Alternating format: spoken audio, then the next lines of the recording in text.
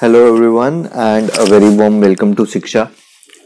So guys we are here with part five on mangoes अभी तक हमने काफ़ी सारे पार्ट्स ऑलरेडी देख लिए हैं। चार पार्ट्स देख लिए हैं हमने मैंगो के। छोटे छोटे वीडियोस थे। ये थोड़ा सा लेंदी वीडियो होगा और काफ़ी इंपॉर्टेंट लेक्चर ये रहेगा आपके एग्ज़ाम uh, प्रिपरेशन के लिए। Whether you are preparing for IBPS F NABARD या कोई भी आप एग्रीकल्चर बेस्ड एग्ज़ाम के लिए प्रिपेयर कर रहे हो।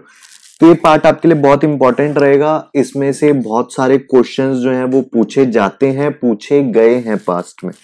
तो आराम आराम से चलेंगे इसके अंदर। 20 टू 25 मिनट्स के अराउंड ये लेक्चर रहेगा। एंड इंपॉर्टेंट लेक्चर रहेगा तो ध्यान से इसको सुनिएगा और ध्यान से इसमें से अपनी तैयारी कीजिएगा। जितने फैक्ट्स हो सके लेक्चर में साथ के साथ याद कीजिएगा। ज़्यादा ज़ोर, अगर आप अपने खुद के नोट्स भी बना रहे हैं तो ज़्यादा ज़ोर लेक्चर को पहली बार सुनते समय लिखने पे नहीं, सिर्फ़ सुनने पर ध्यान दीजिए। और एक बार जब आप लेक्चर को सुन लें, उसके बाद आप लिख सकते हैं। ये थोड़ा सा टाइम कंज्यूमिंग प्रोसेस तो ज़रूर होता है कि आप पहले एक बार सुनो और उसके बाद उसको लिखो। लेकिन इसमें फ़ायदा क्या होता है कि आपके टॉपिक के अंदर क्लैरिटी ज़्यादा अच्छी बन जाती है। या दूसरा तरीका आप ये कर सकते हैं, जैसे एक पर्टिकुलर टॉपिक हमने कवर कर दिया इस वीडियो के अंदर, ठीक है? एक पर्टिकुलर डिज़ीज़ हमने कवर कर दिया। उसके बाद उस डिज़ीज़ को आपने सुन लिया अच्छे से, उसके बाद उसका नोट बना लो। फिर नेक्स्ट फिर नेक्स्ट इस तरीके से।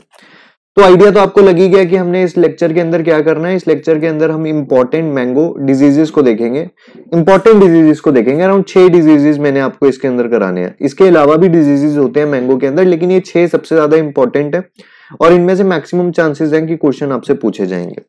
सो so, डिजीजेस जो हम कवर करेंगे यहाँ पर हम कवर करेंगे विल्ट एंड डिक्लाइन को डायबैक एंड ट्विक ड्राइंग को blossom blight powdery mildew anthracnose और शोल्डर ब्राउनिंग तो ये छह डिजीजेज जो है हमने यहाँ पर हमारे लेक्चर के अंदर आज कवर करने हैं, ठीक है?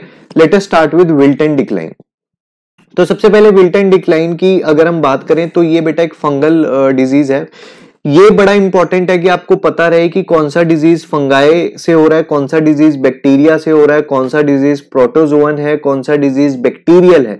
क्योंकि ये वो डायरेक्ट क्वेश्चन ही है, वो पूछ सकता है पेपर के अंदर। फॉर एग्ज़ाम्पल वो ये क्वेश्चन डाल दे कि विल्ट एंड डिक्लाइन जो एक डिज़ीज़ है, ये कौन सा ऑर्गेनिज्म से होता है? ठीक है? ऑप्शन में फंगाई बैक्टीरिया प्रोटोजोआ वायरस ही रहेगा। तो आपको पता रहना चाहिए कि कौन सा ऑर्गेनिज्म है। ये इस टाइप के सब क्वेश्चन ना मैंने एमसीक्यू कोर्स के अंदर डाले हुए हैं, जो थर्टी थर्टी क्वेश्चन के क्विजेज हैं एमसीक्यू कोर्स में, जिसका लिंक डिस्क्रिप्शन में, वहाँ पर आप जाकर के एक्सप्लोर कर सकते हैं। एक फ्री टेस्ट भी डाला हुआ है, वो भी आप देख सकते हैं। Okay so fungi name is Ceratocystis fimbriata ठीक है? तो ये भी थोड़ा सा आपको याद रखना ज़रूरी है। अच्छा एक चीज़ मैं आपको बता दूँ कि ये जो नाम है ना, जो फंगल इन्फेक्शन के नाम है, या ऑर्गेनिजम्स के नाम है, या बॉटनिकल नेम्स हैं, ये ना सारे ज़्यादातर क्या होते हैं लेटिन या ग्रीक लैंग्वेज के अंदर होते हैं मेनली लैटिन के अंदर। So sometimes it becomes very difficult for you to remember ठीक प्रोनाउंसिएशन नहीं निकल पाती, याद नहीं कर पाते, क्योंकि ठीक बोल नहीं पाते। ह्यूमन माइंड ऐसा होता है, जिस चीज़ को हम ठीक से बोल नहीं सकते, उस चीज़ को हमें याद करने में भी दिक्कत होगी। तो एज इट इज़ आपको पूरा करेक्ट प्रोनाउंसिएशन या पूरा करेक्ट स्पेलिंग याद करने की ज़रूरत नहीं है। दोनों नबार्ड के बच्चों की बात कर रहा हूँ, और आईबीपीएस एएफओ वाले भी। क्योंकि देखो, नबार्ड और आईबीपीएस में एक चीज़ कॉमन है कि ऑब्जेक्टिव क्वेश्चंस तो दोनों के अंदर है। तो ऑब्जेक्टिव के अंदर तो मेनली अपने को टिक जा करके लगाना होता है। तो अपने को वहाँ पर प्रोनाउंसिएशन या स्पेलिंग का काम नहीं है। नबार्ड में जो सब्जेक्टिव एलिमेंट आ जाता है ना, उसके अंदर भी वो इस टाइप के क्वेश्चन नहीं पूछता है कि आपको फंगाई ऑर्गेनिज्म का जो नाम है वो मेंशन करना पड़े। तो उतना कॉम्प्लेक्स नहीं रहता है सब्जेक्टिव एलिमेंट तो डेफिनेटली आप इसके अंदर ये काम कर सकते हैं। तो दो फंगाई रिस्पॉन्सिबल है विल्टन डिक्लाइन के लिए। एक तो आपका हो गया सेराटोसाइटिस फिम्रियाटा और दूसरा है आपका बर्केले वाइमोसिस बेसिकोला ठीक है? और ये दोनों जो है सॉइल बॉन्ड पैथोजन हैं। And they can be transmitted by planting material wind water soil human और बीटल्स भी इसको ट्रांसमिट कर सकती है। तो वैसे तो सॉइल बॉर्न है, लेकिन और भी सोर्सेज से इसका ट्रांसमिशन जो है वो पॉसिबल है। तो सबसे पहले तो क्या याद रखना है? फंगाई इंफेक्शन है point number one point number two आपने इसके दोनों फंगल इंफेक्शन के नाम याद रख लेने हैं। ठीक है? इसकी एंट्री जो होती है होस्ट में, वो मेनली इंजर्ड पोर्शन के थ्रू होती है। अगर ट्री के ऊपर कोई इंजरी है तो मेनली ये आपका वहाँ से होगा। और जो बीटल आपका रिस्पॉन्सिबल है for the transmission of wilt and decline तो उसके अंदर एक तो आपका स्कॉलाइटेड आ जाता है और दूसरा एम्ब्रोसिया बीटल्स आ जाते हैं, जिनके बॉटेनिकल नेम्स हैं हाइपोक्राइफेलिस मैंगीफेरा एंड जाइले वॉरस एसपीपी ठीक है? तो ये इनके बॉटेनिकल नेम्स हैं। तो these are the beetles which are responsible for transmission of wilt and decline ये भी डायरेक्टली एक क्वेश्चन आपसे पूछा जा सकता है तो ये भी पॉइंट आपको याद रखना है। ठीक है? और ये स्प्रेड तो करते ही करते हैं। अब जनरली ये बीटल से रिलेटेड एक और खास बात है। अब ये जो आपका फंगाई है ना सेराटोसाइटिस ये क्या करता है? इन्फेक्टेड जो ट्रीज होते हैं, जब ये ट्री को इन्फेक्ट कर देते हैं तो ये ना एक ओडोर रिलीज़ करेंगे स्मेल रिलीज़ करेंगे ट्री के अंदर। और उस स्मेल की वजह से फर्दर ये बीटल्स जो है, वो अट्रैक्ट होंगे। ठीक है? और ये धीरे धीरे उस ट्री के अंदर अपना घर बना लेंगे and ultimately that tree will convert into a dead wood okay अब इसके जो मेजर रीजंस और कंट्रीब्यूशन करते हैं मैंगो ट्री बिल्ट के अंदर, अगर आप अनकंट्रोल्ड इरिगेशन कर रहे हो इंटरक्रॉपिंग आप कर रहे हो ट्री बाउंडिंग है अगर आपका ट्री इंजर्ड है फर्टिलाइज़र एप्लीकेशन अगर आपका इम्प्रॉपर है तो भी आपका मैंगो ट्री विल्ट का प्रॉब्लम हो सकता है। ठीक है, अब इसमें से भी क्वेश्चन बन सकता है that which among the following is responsible for और which among the following contribute to mango tree wilt for example वो आपको ऑप्शन दे दे option A option B option C option D और ऑप्शन ई e में वो डाल देगा all of the above ठीक है? तो इस तरीके से भी क्वेश्चन पेपर के अंदर बन सकता है। देखो, मैंने बार बार बोला है आपको, पहले भी और अभी भी बोलता हूँ कि जब भी कोई चीज़ आप देखते हो अपने सामने, कोई थ्योरी आप पढ़ रहे हो, कुछ भी पढ़ रहे हो कॉम्पिटेटिव एग्ज़ाम की प्रिपरेशन के लिए, दिमाग की घंटी उस तरीके से बजनी चाहिए कि यार ये मेरे को क्वेश्चन सॉल्व करने में किस तरीके से हेल्प करेगा। ठीक है? चलिए तो ये विल्ट एंड डिक्लाइन के आपके पास आपको सिम्टम्स यहाँ पर दिखेंगे। बीटल इन्फेस्टेशन ये आपका बीटल इन्फेस्टेशन का पिक्चर है। उसके बाद ये विल्ट का आपका पिक्चर है। देन वी हैव डिक्लाइन जो होता है। आप देख रहे हो कि किस तरीके से वुड डिक्लाइन यहाँ पर होना शुरू हो रहा है और फिर धीरे धीरे वुड के ऊपर स्टेन्स डेवलप होने शुरू हो जाएँगे इस तरीके से। एंड लास्ट में आपका जो ट्री है it will start oozing out the gum जो गम रिलीज़ होती है बार्क में से वो रिलीज़ होनी शुरू हो जाएगी। मैनेजमेंट के लिए हम क्या कर सकते हैं? सबसे पहले तो क्योंकि वूंड्स के थ्रू इंजरी के थ्रू ये डिज़ीज़ मेनली प्लांट के अंदर एंटर कर रहा है। तो सबसे पहले तो डैमेज अवॉइड करो। ठीक है? डैमेज अवॉइड करो रूट्स को। तो उसके लिए आपको टिलेज जो है वो कम से कम रखना पड़ेगा, क्योंकि टिलेज ऑपरेशंस के टाइम ज़्यादा से ज़्यादा चांसेस होते हैं कि ट्री को इंजरी हो जाए। ठीक है? डीप प्लॉइंग अवॉइड करना पड़ेगा, ताकि प्लांट्स को इंजरी ना हो। ठीक है जी? उसके बाद जो आप इंटर इंटरक्रॉप्स ग्रो कर रहे हो ना, वो कैनोपी एरिया से दूर होनी चाहिए। बिल्कुल आप कैनोपी के साथ इंटरक्रॉप्स को मत ग्रो करो, ठीक है? स्पेशली अगर आप यंग ऑर्कर्ड्स की बात कर रहे हो तो वहाँ पर कभी भी इंटरक्रॉपिंग कैनोपी एरिया में नहीं होनी चाहिए, ठीक है जी? उसके बाद अगर आपका कोई nearby tree wilt affected है, ठीक है? तो उस ट्री की ट्रीटमेंट बहुत ज़रूरी है, नहीं तो वो धीरे धीरे विंड और एयर के साथ भी हमने देखा ना कि डिज़ीज़ ट्रांसमिट हो रहा है। तो अगर आपका कोई ट्री इफेक्टेड है ऑलरेडी तो उसको आपको ट्रीट करना पड़ेगा। उसको ट्रीट करने के लिए आप क्या कर सकते हो? आप सॉइल को ड्रेंच कर सकते हो, यानी कि सॉइल पे स्प्रे कर सकते हो थायोफिनेट मिथाइल या हेक्सा कॉनोजोल को। ठीक है जी? अब अगर कोई ट्रीज सिवियर इन्फेक्टेशन हो गया है, ठीक है, पूरे तरीके से विल्ट हो चुका है, ठीक है तो उस एरिया को जहाँ पर सीरियस इन्फेस्टेशन है, उस एरिया को आप ट्री के कट कर दो। ठीक है? और जहाँ पर आपने ट्री को कट किया है ना, जैसे आप लोग अगर कहीं पर कटर लगाते हो, इंसान के शरीर के अंदर ऑपरेशन करते हैं कट लगाते हैं तो उसमें क्या करते हैं? फिर उसके ऊपर मलम पट्टी करनी पड़ती है ना? सिमिलरली एक पार्ट आपने काट करके फेंक दिया, जो विल्ट हो गया जो बाकी का जो पार्ट है ना, उसको आपने फिर मलम पट्टी करनी पड़ेगी आपको। उसके ऊपर एक पेस्ट लगाना पड़ेगा, जिसका नाम क्या होता है? बोर्डो पेस्ट ठीक है? या फिर आप कॉपर ऑक्सीक्लोराइड को भी यूज़ कर सकते हैं। ये सारे के सारे पॉइंट्स जितने हम देख रहे हैं ना हर पॉइंट के अंदर क्वेश्चन है बेटा। ये आज की आपकी 20 से 25 मिनट की लेक्चर को अगर आप क्वेश्चंस की फॉर्म में देखोगे ना तो कम से कम कम से कम आप ये लगा लो कि आपके 100 क्वेश्चन इसमें से बन जाएँगे। कम से कम 100 क्वेश्चन अलग अलग टाइप के। ओके okay, उसके बाद आप क्या कर सकते हो? जो एरियल पोर्शन है यानी कि जो लीव्स वाला पोर्शन है उस पर आप स्प्रे कर सकते हो टेट्रा कॉनेजोल का, अगर आपको सिम्टम्स अपियर हुए होते हुए दिखते हैं, ठीक है? अगर आपके बीटल अटैक भी शुरू हो गया है ऑर्कड के ऊपर तो उसमें आप मेलेथियन स्प्रे करो बीटल्स को टैकल करने के लिए पंद्रह दिन के इंटरवल पे। और इरिगेशन से भी अनकंट्रोल्ड इरिगेशन भी हमने देखा ना कि एक रीजन बनता है विल्ट का। तो अनकंट्रोल्ड इरिगेशन को कम करने के लिए आप क्या कर सकते हो? आप ड्रिप इरिगेशन सिस्टम जैसा कुछ मेथड यूज़ कर सकते हो। चलो विल्ट एंड डिक्लाइन के बाद नेक्स्ट अब हम डिस्कस करेंगे बेटा dieback and twig drying dieback and twig drying को डिस्कस करते हैं। चलिए जी। तो डाईबैक की अगर हम बात करें तो इसमें बेसिकली होता क्या है? इसमें आपका ना पेड़ सूखना शुरू हो जाएगा। ऊपर से सूखना शुरू होगा और धीरे धीरे नीचे जाएगा। जैसे अगर आप यहाँ पर ये ये वाला पिक्चर देखो तो ऊपर से आपका ट्री पहले सूखना शुरू होगा एंड धीरे धीरे ये नीचे की तरफ़ जाएगा। नीचे से ऊपर नहीं, ऊपर से नीचे की तरफ़ जाएगा। ठीक है? एंड ये एक पैरासिटल इंफेक्शन है. This is cause by a parasite parasite and the name of the organism is Lasiodiplodia theobromae ठीक है? तो नाम याद रख सकते हो. उल्टा सीधा जैसा मर्ज़ी नाम याद रख लो. कोई दिक्कत नहीं है. अब हाई समर टेम्परेचर इसका एक मेजर रीजन बनता है. और जब हाई समर टेम्परेचर के बाद अगर रेनी सीज़न आ जाए, जो इंडिया के स्पेशली नॉर्थ इंडियन स्टेट्स के अंदर एक प्रॉब्लम देखने को मिलती है कि हमारे यहाँ पर पहले अप्रैल, मई के अंदर हाई समर टेम्परेचर होना शुरू हो जाता है, उसके बाद जून में भी गर्मियाँ रहती हैं, जुलाई से फिर बारिशें आ जाती हैं। तो वो एक मेजर रीजन बनता है आपके dieback and twig drying parasitic infection के इंक्रीज होने का। अगर आपकी रिलेटिव ह्यूमिडिटी 80 परसेंट से ज़्यादा है और टेम्परेचर 26 से 32 डिग्री सेल्सियस है और बारिश भी हो रही है तो डिज़ीज़ डेवलपमेंट आपके बहुत हाई चांसेस हैं। डिज़ीज़ डेवलपमेंट में आपके ट्री के ऊपर क्रैक्स अपियर होने शुरू हो जाएँगे ब्रांचेस के ऊपर, ठीक है? और गम भी बाहर आना शुरू हो जाएगा एंड ट्विक ड्राई होने शुरू हो जाएँगे रैंडमली कभी कोई ट्विक सूख रहा है, कभी कोई ओके पूरे पेड़ के ऊपर, ऐसा नहीं है कि एक पर्टिकुलर एरिया के अंदर ओनली मैनेजमेंट के लिए आप क्या कर सकते हो? जो डिज़ीज़ जो ट्विग्स ऑलरेडी डिज़ीज़ हो चुके हैं, जिन पे ऑलरेडी बीमारी लग चुकी है, उनको काट दिया जाए, ठीक है? फॉर एग्ज़ाम्पल ये एक ट्विग है और इन्फेक्शन यहाँ तक है। तो जहाँ तक इन्फेक्शन है, उससे पाँच सेंटीमीटर नीचे से आपने काटना है, ठीक है? और फिर उसके बाद आप बॉडेक्स मिक्सचर या कॉपर ऑक्सीक्लोराइड का स्प्रे कर देंगे, ओके? एंड केयर रखनी पड़ेगी आपको वाटर और न्यूट्रिशन की, ताकि ट्री जो है वो बेटर रिकवर कर पाए। डाई बैक के बाद दोस्तों आ जाता है अपने पास ब्लॉसम लाइट ब्लॉसम ब्लाइट की बात करें तो अगेन एक फंगल इन्फेक्शन है which is cause by Alternaria alternata and Colletotrichum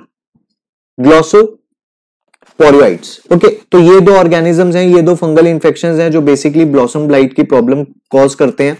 और अगर आपके पेड़ के ऊपर ब्लॉसम ब्लाइट की दिक्कत हो गई है सिवियर हो गई है तो आपका फ्रूट ही नहीं आएगा उस पेड़ के ऊपर। तो काफ़ी मतलब इकोनॉमिक सिग्निफिकेंस इकोनॉमिक लॉस काफ़ी ज़्यादा हो जाता है अगर ब्लॉसम ब्लाइट आपके इफ़ेक्ट कर दे।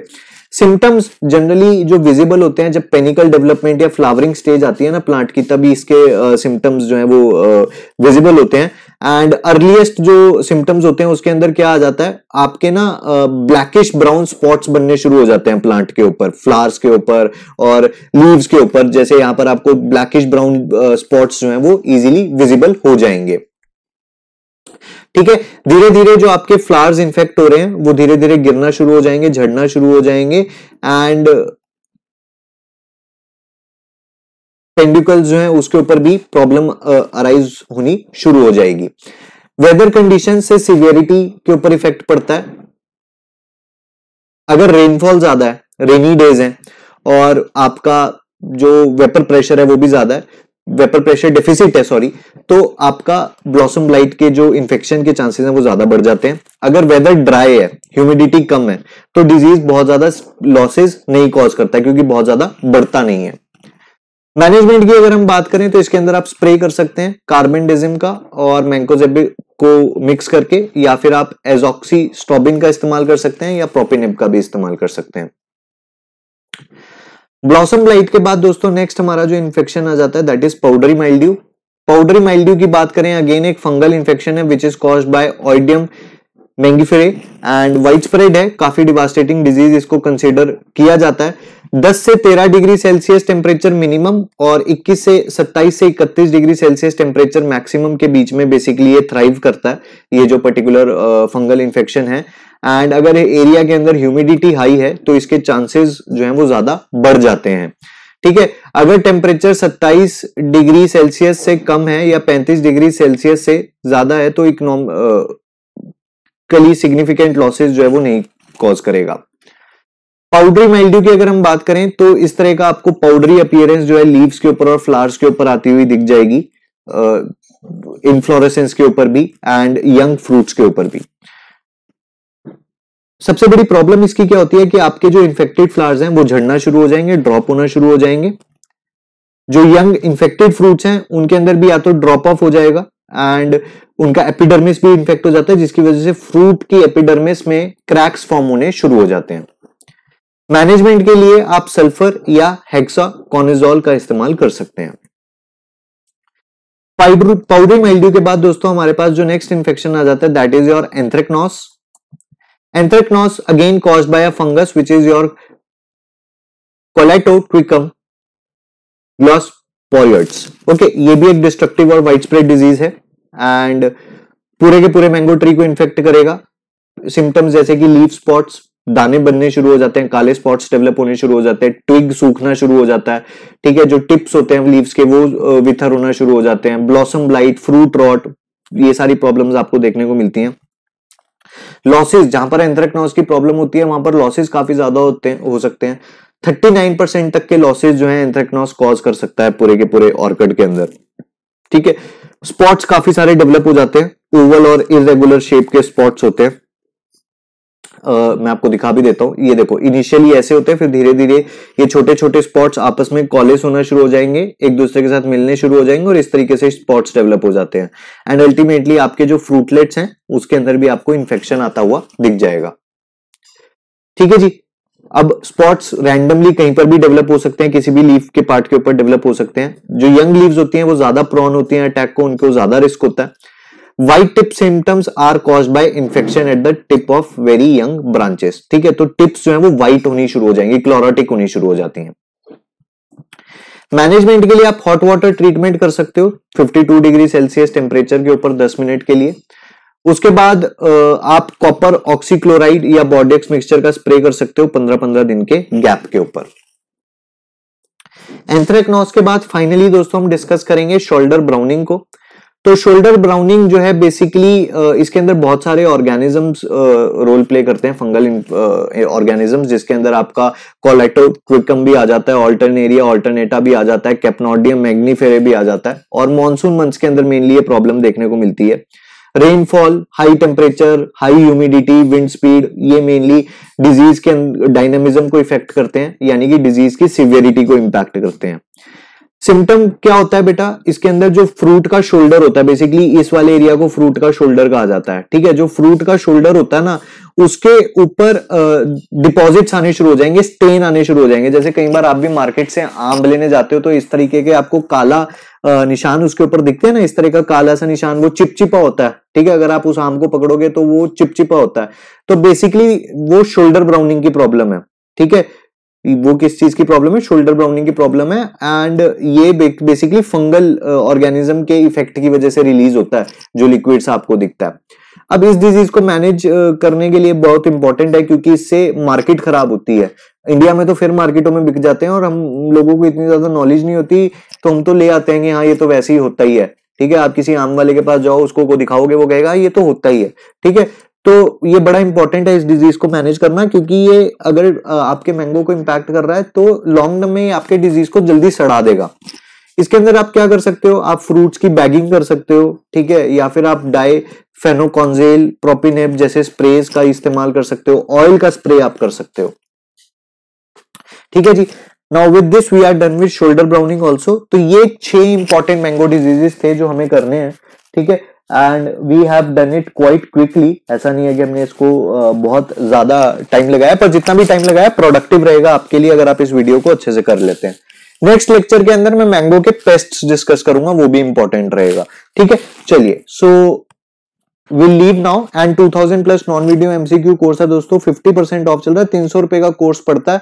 लेकिन वो कोर्स आपको वैल्यू बहुत ज़्यादा देगा। आईबीपीएस एएफओ का पेपर देके आने के बाद मेंस देके आने के बाद आप मेरे को व्हाट्सएप के ऊपर या टेलीग्राम के ऊपर वो जो किसेज वाला इमोजी है ना, वो बना बना करके भेजोगे, ये गारंटी है। ठीक है? उसका लिंक डिस्क्रिप्शन में, उसका एक फ्री टेस्ट भी डाला हुआ है, वो भी डिस्क्रिप्शन में लिंक है। तो वो आप जाकर के एक्सप्लोर कर सकते हैं। एंड चैनल को अगर सब्सक्राइब नहीं किया तो प्लीज़ चैनल को ज़रूर सब्सक्राइब करें। कोई भी दिक्कत हो कमेंट ज़रूर करें। शेयर कर सकते हो तो कर देना। अगर उसमें ऐसा लगे कि टाइम वेस्ट हो रहा है तो बिल्कुल मत करना। कर सकते हो तो कर देना। और सब्सक्राइब तो तुम खुद तो कर ही देना। बाकी कोई भी डाउट हो कमेंट कर दो। टेलीग्राम ग्रुप का लिंक डिस्क्रिप्शन में टेलीग्राम ग्रुप ज्वाइन कर लो। ठीक है, जो भी लेक्चर आता है उसका अपडेट वहाँ पर डाल देता हूँ। चलिए, मिलते हैं हम नेक्स्ट लेक्चर में। Till then take care and bye